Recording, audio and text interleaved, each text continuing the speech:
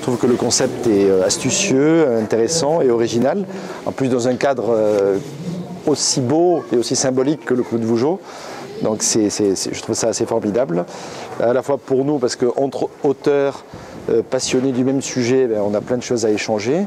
Et ensuite c'est un point de rencontre fantastique avec euh, nos lecteurs qui sont eux-mêmes passionnés de vin. Et quand eux-mêmes, on les voit arpenter euh, les allées du Clos Vougeot entre quelques beaux plants de vignes de pinot noir pour venir jusqu'à nous, ils ont déjà le sourire, ce qui est quand même quelque chose qui est une ouverture des uns vers les autres. Ce qui est peut-être spécifique dans les, dans les lecteurs que l'on rencontre ici, par exemple dans ce, dans ce salon, euh, d'abord ce sont des gens souvent de la région, ce sont des vrais amateurs. Euh, moi, je vis à Paris, par exemple, j'ai un restaurant à Paris, j'ai beaucoup de lecteurs parisiens. Ce sont des gens qui, qui, ont une vision un petit peu plus théorique des choses. Ici, ils ont un vrai vécu et il y a un échange. Par exemple, ah, en venant ici, est-ce que vous êtes arrêté à Gevrey au-dessus Il y a un jeune producteur, etc. Il y a un échange comme ça en permanence qui est, peut-être plus marqué que dans d'autres régions en France. Alors moi c'est la troisième année que je viens, donc c'est la preuve que j'aime. Et je ne suis pas maso.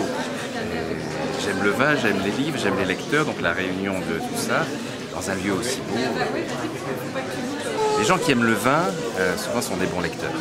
Euh, parce qu'ils euh, aiment le partage, ils aiment l'expression, ils aiment en parler, ils aiment l'imaginaire, la, couleur, le plaisir. Et même les sommeliers dans les restaurants, quand ils sont bons, sont des poètes. Si vous écoutez un sommelier vous parler du vin, il vous emmène dans des senteurs, dans des parfums, dans des couleurs, etc. Il vous emmène dans un voyage. Ce sont des humanistes. Le vin est un fixateur de souvenirs formidable. Je sais très très bien dans quelles circonstances et avec qui j'ai partagé ce moment. Et on a ça avec des livres aussi parfois cette émotion.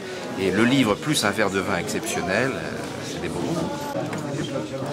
On apporte un peu quand même la contradiction en, territoire étranger. Euh, donc euh, livre sur les vins du monde en France, euh, on a quand même une mentalité française, euh, à juste raison, de manière un peu chauviniste. Il y a quand même, euh, la France est un grand, le plus grand pays viticole du monde. C'était quand même un livre assez improbable à faire parce que moi j'avais la connaissance des vignobles, etc. Lui il avait sa plume, son côté littéraire. Et, pour écrire à quatre mains, c'est pas facile. Euh, c'est même, je dirais, quasiment impossible. Il euh, faut une très grande connivence euh, pour, pouvoir faire ça sans se fâcher à vie.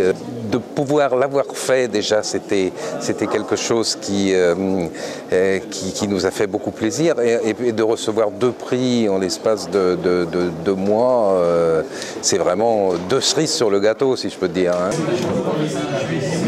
C'est un bel encouragement puisque c'est un premier livre. Euh, bon, j'ai mis euh, bien sûr tout mon cœur et, c'est un sujet qui me tient particulièrement à cœur puisqu'il me vaut euh, d'être présent en Bourgogne parce que je ne suis pas bourguignon d'origine mais je suis venu à la Bourgogne en découvrant la vente aux enchères des Hospices de Beaune.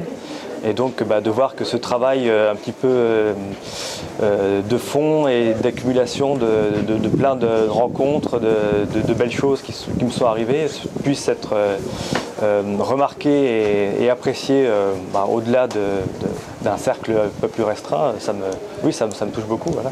Surtout qu'il y avait beaucoup de, beaux livres présentés euh, à ce salon et des auteurs prestigieux. Donc voilà, ça encourage à, bah, poursuivre tout simplement.